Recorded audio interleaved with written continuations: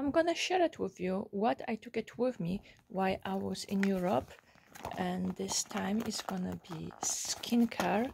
That's the cosmetic bag from one of the Soap and Glory sets.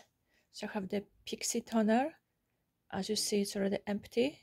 It's with AHA then I have another one from Paula's Choice with BHA moisturizer from Estee DayWear I went through many through many of those and I do like it. Ten Balm 10 Balm from Indeed Lab. It's one of those things which you cannot go wrong with and it does re repair your skin. Then from Estee Micro Essence. This is like their version of SK2 Paula's Choice Glow Moisturizer with SPF 30 this one has a little bit of color but it was okay. Then hand cream from okay this brand it's nice. It performs well.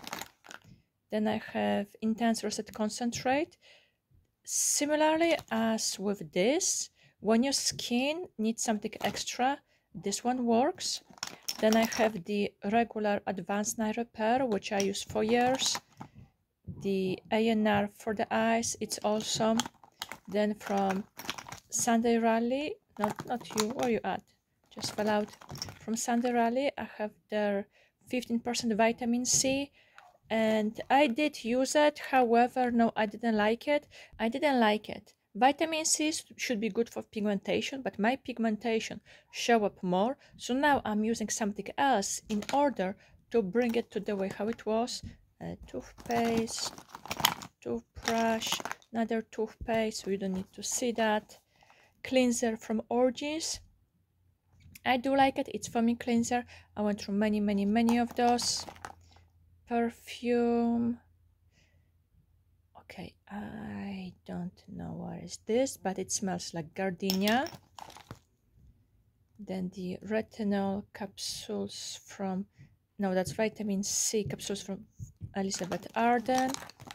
Little perfume from Aerin Amber Musk and that's exactly how it smells another advanced night repair. Serum from number seven product and perfect. It's a small sample so I didn't see too many results but I did use it.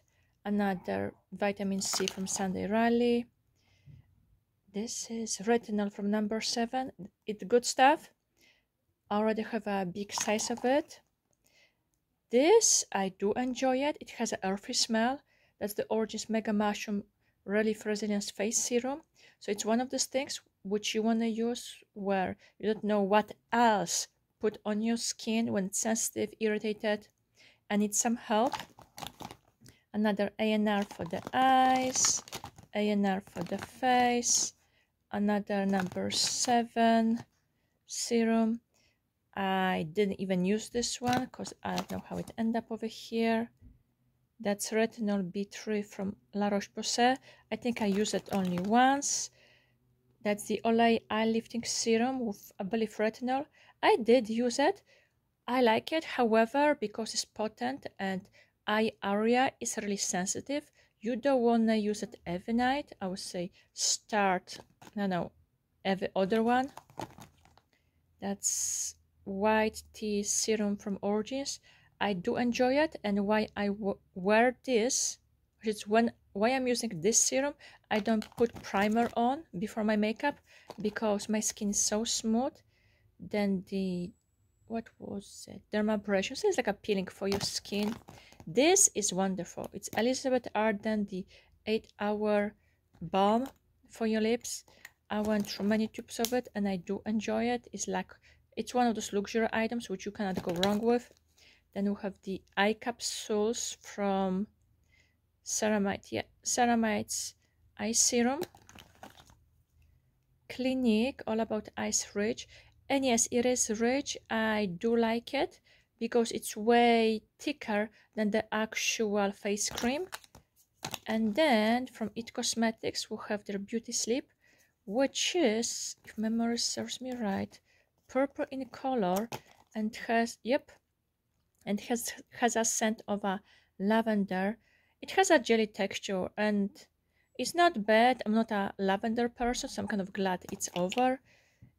Within those items, some of them are empty, so I'm gonna put them into the empties bin and don't be surprised if you're gonna see them see them again.